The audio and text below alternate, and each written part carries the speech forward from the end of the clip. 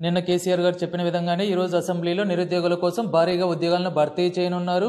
మనకు తెలంగాణలో చూస్తే టోటల్గా తొంభై ఒక్క వేల నూట నలభై ఏడు ఉద్యోగాలకు సంబంధించి నోటిఫికేషన్స్ అనేవి రిలీజ్ చేస్తున్నారు ఫ్రెండ్స్ ఇప్పటి వరకు తెలంగాణలో వచ్చేసి కాంట్రాక్ట్ పద్ధతిలో పదకొండు వేల నూట మూడు మంది జాబ్స్ అనేవి చేస్తున్నారు. ఈ కాంట్రాక్ట్ పద్ధతిలో జాబ్ చేసే వాళ్ళకు వచ్చేసి వెంటనే పర్మనెంట్ చేస్తున్నామని జీవో జారీ చేస్తున్నారు ఫ్రెండ్స్ ఇప్పుడు మనకు తెలంగాణలో వచ్చేసి కొత్తగా తొంభై ఒక్క వేల నూట నలభై ఏడు పోస్టులకు సంబంధించి నోటిఫికేషన్స్ అనేవి రిలీజ్ చేస్తున్నారు.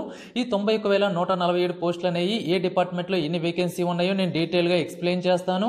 ఎక్స్ప్లెయిన్ చేసే ముందు చిన్న రిక్వెస్ట్ ఫ్రెండ్స్ మీరు ఎంతవరకు ఈ వీడియోని లైక్ చేయకపోతే లైక్ చేసి మన ఛానల్ని సబ్స్క్రైబ్ చేసుకొని పక్కనే వచ్చిన బిల్ సింబల్ని ట్యాప్ చేయండి ఫ్రెండ్స్ డిపార్ట్మెంట్ల వారీగా చూస్తే మనకు విద్యాశాఖలో వచ్చేసి టోటల్గా పదమూడు వేల ఎనభై ఆరు ఖాళీలు అనేవి ఉన్నాయి.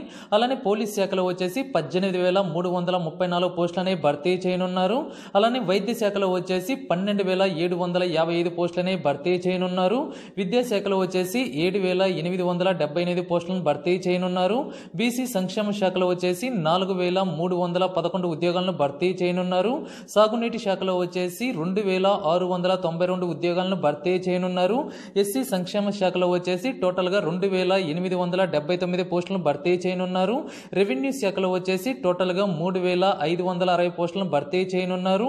ట్రైబల్ వెల్ఫేర్ విభాగంలో వచ్చేసి టోటల్గా రెండు వేల మూడు వందల తొంభై తొమ్మిది పోస్టులనే భర్తీ చేయనున్నారు. ఫ్రెండ్స్ ఈ జాబ్స్కి మనం అప్లై చేయాలి అంటే ఉండవలసిన క్వాలిఫికేషన్ ఏంటి అంటే టెన్త్ కంప్లీట్ చేసిన వాళ్ళకు ఇంటర్ డిగ్రీ బీటెక్ కంప్లీట్ చేసిన అందరికీ వేకెన్సీస్ అనేవి ఉన్నాయి ఫ్రెండ్స్ ఈ జాబ్స్ సంబంధించి అఫిషియల్ నోటిఫికేషన్ రాగానే నేను వీడియో చేస్తాను. ఆ వీడియోని మిస్ కాకుండా ఉండాలి అంటే మన ఛానల్ని సబ్స్క్రైబ్ చేసుకోండి.